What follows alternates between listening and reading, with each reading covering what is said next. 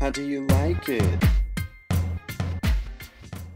Hey Guardians, Goshuki here. It is Tuesday, January 23rd, and a new week in Destiny 2. So we're going to hop in and take a look at what we'll be doing this week. First off, taking a look at our milestones. Looks like New Monarchy has won the faction rally, so head on over there to get your weapon. Um, as far as powerful gear, we'll be doing our Nightfall as usual. We've got the Leviathan Raid or the Eaters of World Raid Lair.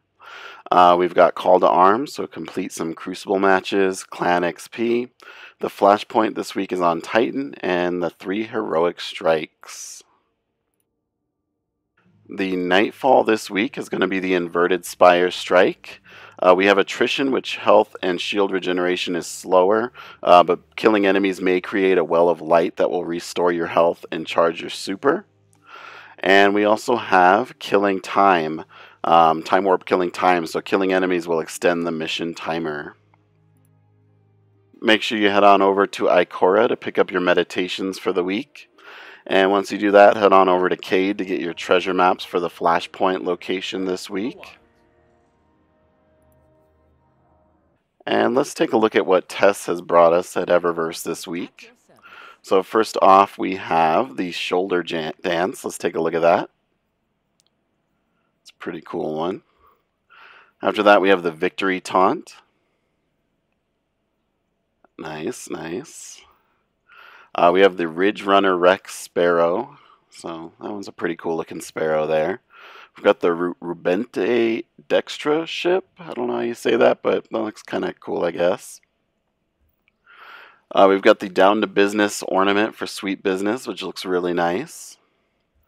And then for the colony, we have the Vice Silver weapon ornament, which looks really cool.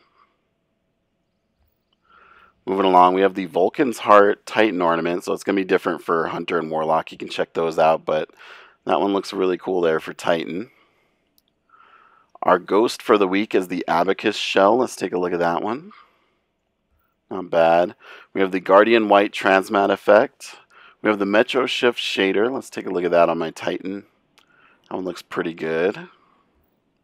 And we have Watermelon, which is a kind of a weird one. Doesn't look good on my Titan, but I've seen some people pull it off. And finally, we have the Fire Team Medallion and the Gleaming Boons of Vanguard and Crucible. So that's going to be it for the week. Make sure you also head on over to New Monarchy to pick up your auto rifle. I'm going to pick it up and go test it out. Uh, but thanks for watching. Like, comment, subscribe, all that good stuff, and Goshuki out.